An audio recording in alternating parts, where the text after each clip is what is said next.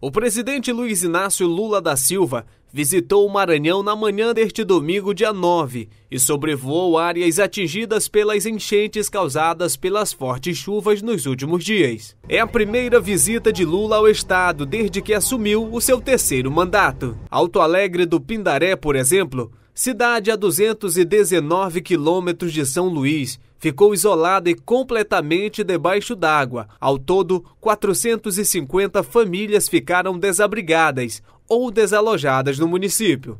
Para conseguir se locomover pelas ruas da cidade, que se tornam verdadeiros rios, moradores estão usando canoas. Os quatro postos da cidade estão sem combustível e alguns estabelecimentos já estão ficando desabastecidos. No oeste do estado, a rodovia MA 119, que dá acesso à cidade de Alto Alegre do Pindaré, ficou coberta pela água de um rio, que transbordou. A população só não ficou totalmente isolada por causa da ferrovia Carajás, que passa pela região a maior parte da cidade está inundada e o transporte só é possível por meio de trator ou canoa.